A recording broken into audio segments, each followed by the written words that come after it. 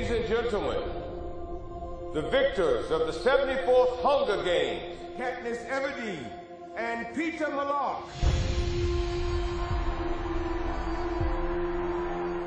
She's not who they think she is. She just wants to save her skin. She has become a beacon of hope for them.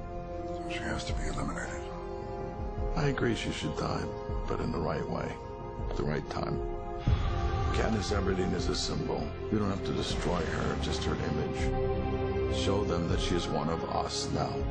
Let them rally behind that.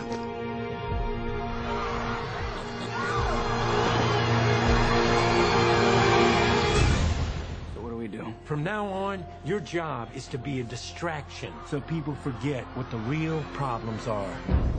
Her entire species must be eradicated. Her species, sir. The other victors. Because of her, they all pose a threat. Because of her, they all think they're invincible. You saved us. I know that. But I can't go on acting for the cameras and then just ignoring each other in real life. We have to go before they kill us. They will kill us. People want to fight. I'm staying here. Would you like to be in a real war, Miss Everdeen? Your loved ones gone. What do I need to do? This is the 75th year of the Hunger Games. The tributes are to be reaped from the existing pool of victors. Ready to work? I want you guys to forget everything you think you know about the games. Last year was child's play.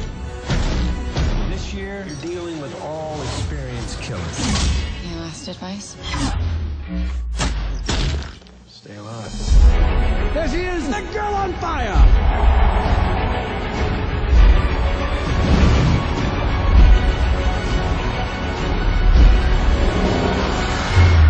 Remember who the real enemy is.